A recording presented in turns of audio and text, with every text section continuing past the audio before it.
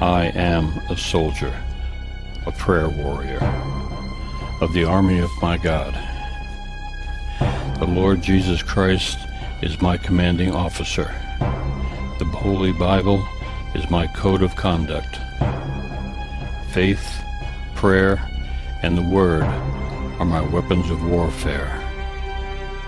I have been taught by the Holy Spirit, trained by experience, tried by adversity, and tested by fire. I am a volunteer in this army, and I am enlisted for eternity. I will either retire in this army at the rapture or die in this army, but I will not get out, sell out, be talked out. I am faithful, compatible, and dependable. If my God needs me, I am there. I am a soldier, a prayer warrior. I am not a baby. I do not need to be pampered, petted, primed up, pumped up, picked up, or pepped up. I am a soldier, a prayer warrior. No one has to call me, remind me, write me, visit me, entice me, or lure me. I am a soldier, a prayer warrior.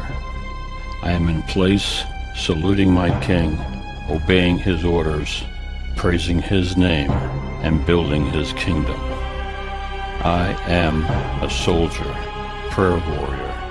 No one has to send me flowers, gifts, food, cards, candy, or give me handouts.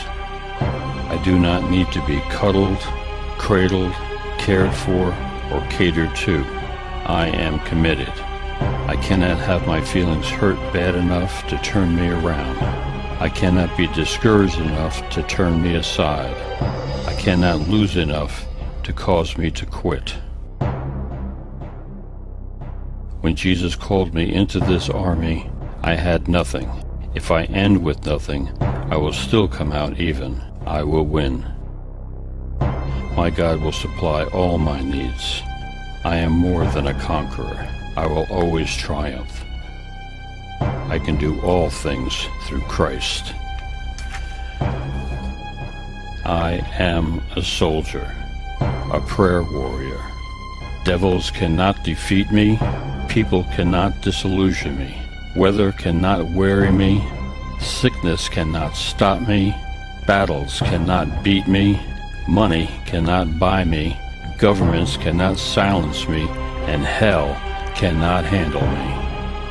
I am a soldier, a prayer warrior. Even death cannot destroy me. For when my commander calls me from this battlefield, he will promote me to a captain and then bring me back to rule this world with him.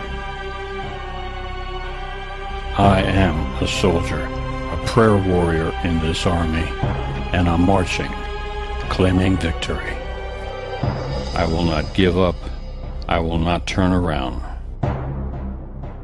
I am a soldier, a prayer warrior, and God has my back.